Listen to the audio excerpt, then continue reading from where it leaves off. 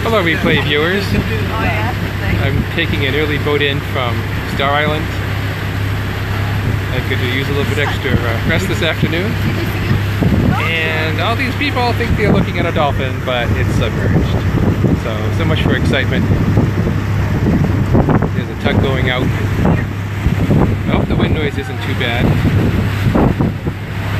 Hi, Divine. I'm on my uh, on my headsets.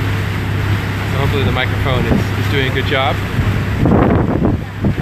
I was inside until just a second ago, sheltering from this uh, sort of poor weather.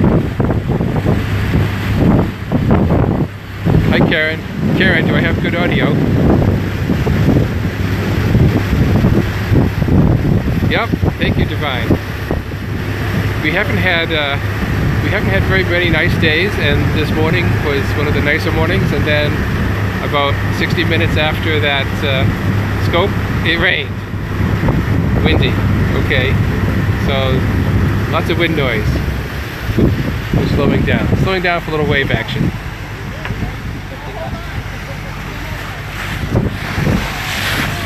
Some of these people have been standing out for for a good portion of the trip but then they had enough and, and came inside. Now they're out to uh, to see the view a little bit. This is a short scope our destination is on the other side of that bridge up ahead.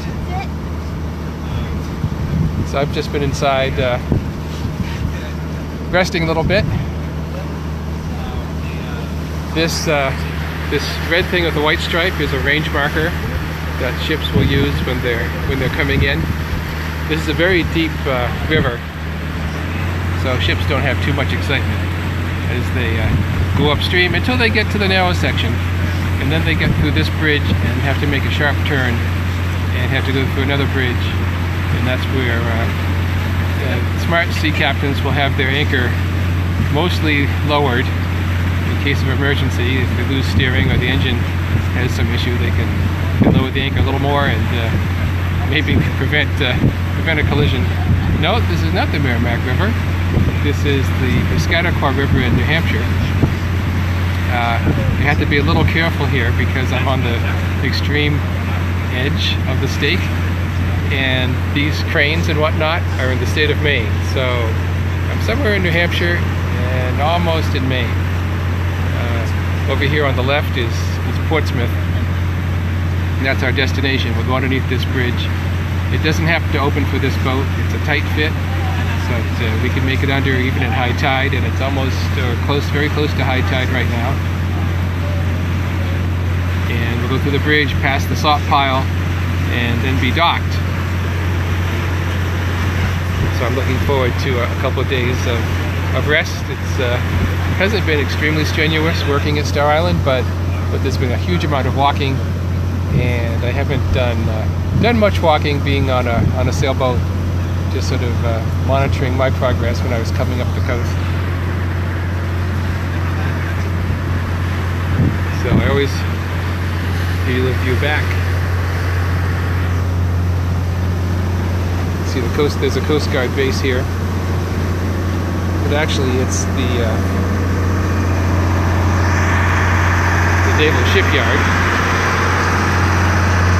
where in the World War II they'd knock out submarines and they'd come out those uh, come out those hatches down the ramp. And so now this uh, naval shipyard is a refurbishment center for submarines. And I'm looking and I'm looking and I don't think there's one here. There might be one around the corner.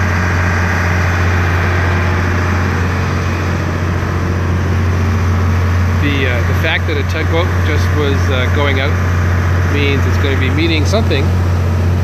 And uh, we're probably helping to bring it in. There's a, a port for ships. They unload gypsum uh, much a little farther upstream than where we're tying up.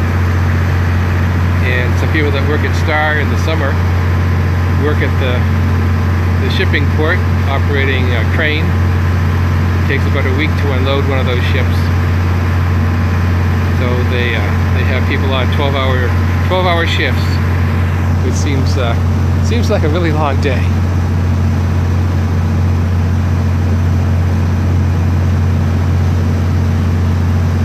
Yep, there is a submarine in port. I was hoping to uh, to get a little view around the around the point here. You can see it's uh, barricaded off so you don't get too close.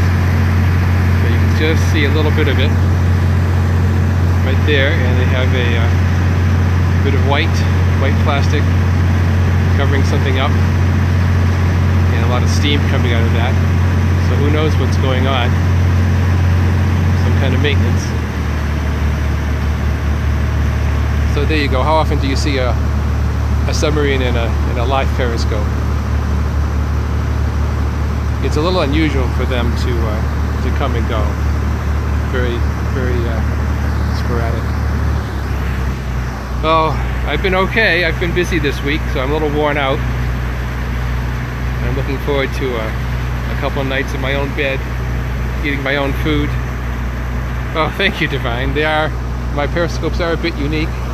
All right, let's get over to where I was standing before because here we come to the bridge and it's high tide, so we've got a bit of a thrill. It looks like we're going to hit, but we barely make it. I will show you something funny in a second.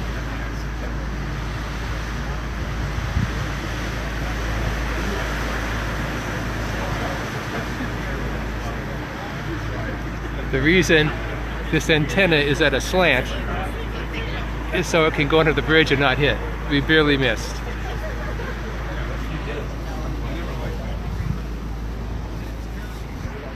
There's a little marina up here on the right. I don't know. I don't know many of them.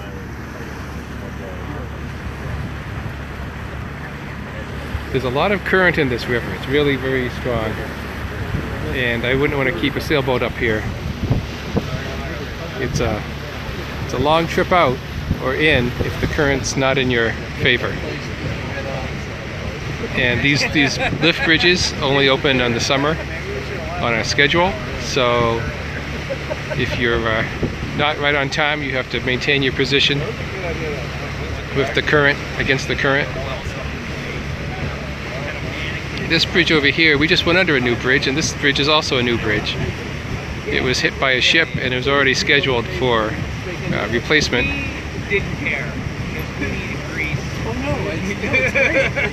So it got got fixed up and then replaced almost uh, almost uh, like within months of each other. Know, it wasn't that. We didn't have drinks. Maybe if we had mimosas or Bloody. So over here on the left, it's covered up now, is a huge pile of salt.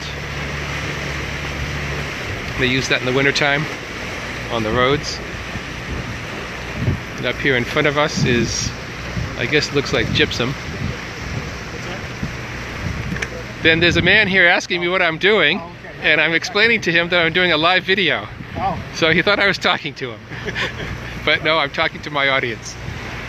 This is our uh, our destination. The uh, the ferries docked here.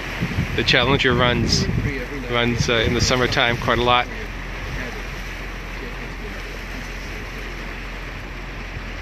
I need to make sure I'm not standing in the way of, uh, of docking. The current in here is very tricky. It comes around, uh, it comes comes around that point, and there's a little bit of a, a swirling action. So when you're landing a boat here, you have to anticipate what the current's going to be doing. Sometimes this boat docks on the inside, which is even trickier because you have to go through this uh, gap. And at low tide, it's a scary looking proposition. Looks like there's someone, uh, Connor's coming down to, to help us with the lines.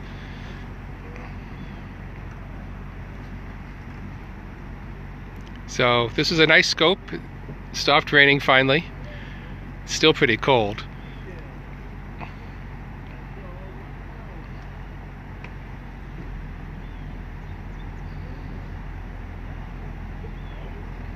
Is this the one that does the cruises you were saying?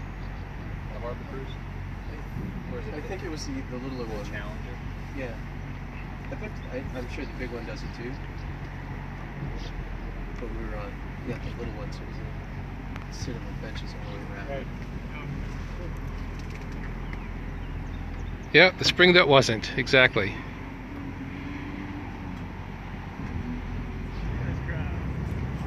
So So looks like it means business. we've arrived. I'm going to scope out Jack's doing his final final maneuvering. And catch you next time. Thanks everybody for checking in.